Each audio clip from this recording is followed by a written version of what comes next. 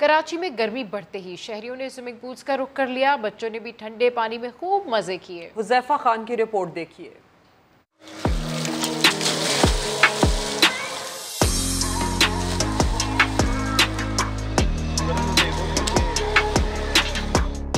सूरज ने कराची में आग बरसाई तो गर्मी के सताए शहरियों ने स्विमिंग पूल में छलांग लगाई।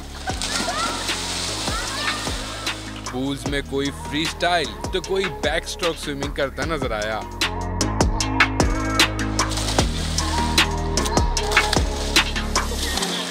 बच्चे हो या नौजवान सबने ही सख्त गर्मी का मुकाबला करने के लिए ठंडे ठंडे पानी में डुबकियाँ लगाई।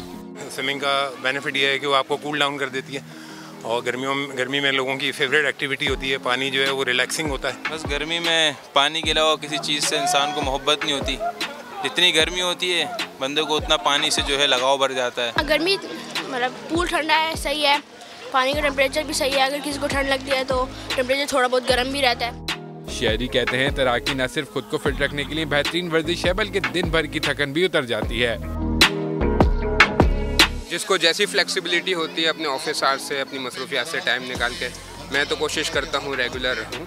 जब तक ये गर्मियों के सीज़न में पूल खुला होता है अप टू नवंबर गर्मी बहुत है इसलिए हमें आना पसंद है और हम आ रहे हैं टाइम से। वैसे तो फार्म हाउस वगैरह जाते हैं तो इसलिए आज यहाँ भी आए गर्मी की वजह से। केएमसी के 50 मीटर लंबे स्विमिंग पूल में बच्चों के लिए ट्रेनर की सहूलत भी मौजूद है जबकि खातन के लिए हफ़्ते में दो दिन भी मुख्त किए गए हैं।